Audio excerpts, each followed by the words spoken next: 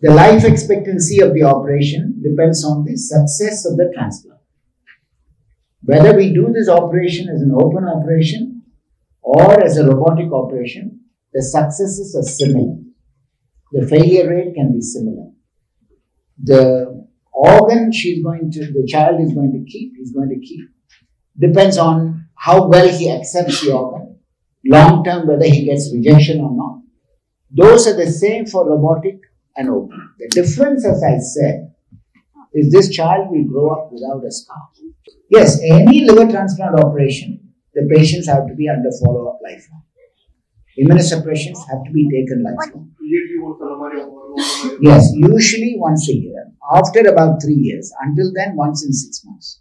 We recommend for these patients to come and visit us once in six months. Lifelong. Me and after me, my colleagues. Children with liver transplant do extremely well, better than adults. The risk of rejection in children is less than the adults. And their life expectancy can be 30 years, 40 years, 50 years. So they can live a normal life and they, they lead a normal growth and development. Mentally, they grow well. So transplantation really changes life.